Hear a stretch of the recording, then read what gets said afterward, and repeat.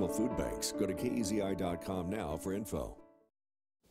It is now time for our pet of the week. Meet Mason. Mason is a five-year-old lab terrier mix. He's described as sweet and loyal who loves to play fetch and go on adventures.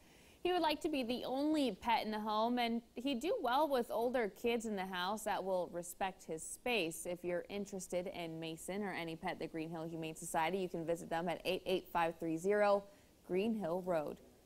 The pandemic is slowing down some types of career training, but that doesn't have to be the case at Lane Community College. In Skill to Work, KEZI is partnering with employers in our area to address the lack of workers for